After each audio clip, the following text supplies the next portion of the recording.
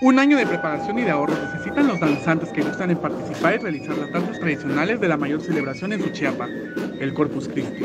Para llegar hasta este punto es, este, es un proceso muy largo. Para empezar, uno como, como fe, cariño que le tiene al Santísimo Sacramento del altar, empiezas a meter tarjas para que en tu proceso este, seas seleccionado como danzante. Una vez que ya escuchaste que vas a bailar el siguiente año, tú ya te empiezas a preparar desde ese momento con todos los materiales que, que integra o que vas a ocupar para, para bailar.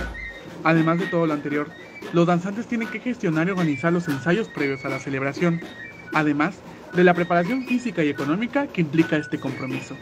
Con todo, principalmente los músicos, quienes te van a ensayar y este, quienes van a tocar en tus ensayos, tu maestro el que te va a ensayar y además de los materiales que vas a, este, vas a ir consiguiendo. En este caso, las pieles de venado, los aros, y los paralitos que lleva alrededor, la arqueta y el travesaño que lleva este, el caralá. Además de eso, pues económicamente te tienes que preparar muy bien este, para hacer los gastos. Principalmente porque sabes que ese día te toca un día este, especial para dar este comida. El danzante nos argumenta que la preparación económica es de las más complejas, puesto que además de los gastos personales que implica la preparación de la vestimenta para estos días, tienen que cubrir la alimentación de las personas que apoyan y asisten a estas celebraciones. Para todos estos gastos como tal, por eso este, fuiste anticipado un año para que durante todo ese año tú te prepares económicamente y todo con tu material. Prácticamente es un año para, para ahorrar. Una red ahorita te sale como 16 mil, 18 mil, dependiendo del tamaño. Entonces ahí es uno de los gastos más fuertes que uno tiene, además de los gastos de, de, los, de los, cueros, que normalmente ahorita están de, de, 600, 800, dependiendo del tamaño de las pieles. En el caso de, la, de los kaitis o los guarachos, son de pie de gallos, ahorita los pie de gallos están como en 200 o 220. Igual, son dos pares que debes utilizar. La banda típica está como en 1800. Entonces, si le vas sumando esa cantidad, por ahí no sé, de 35 o más. A pesar de estos gastos, estas personas están dispuestas a cubrirlo debido a la fe y alegría que sienten al participar en una de las celebraciones de este pueblo, la más importante en el año. Porque realmente lo que importa aquí es este, la fe, las bendiciones que nos ha regalado nuestro Señor Santísimo Sacramento del altar.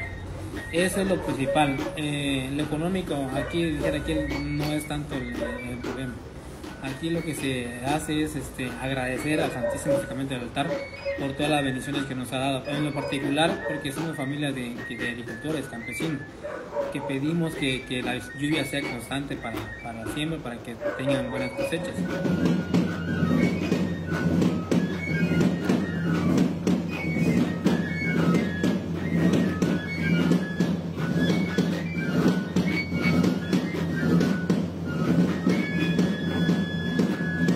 El pueblo de Suchiapa se prepara para celebrar el Corpus Christi como todos los años, aunque este será especial, debido a que se podrá realizar con menos restricciones después de la pasada contingencia sanitaria. Un sentimiento particular porque es la unión de la familia. Y, este, y invitar a toda la comunidad de que este, cercana aquí a Suchiapa, de que vengan a, ver este, a las tradiciones como tal. Aquí en Suchiapa hay cultura, este, colores, todo lo que este, pueden apreciar. Hay este, ahora sí que mucho de qué disfrutar. Eric Chandomí, Alerta Chiapas.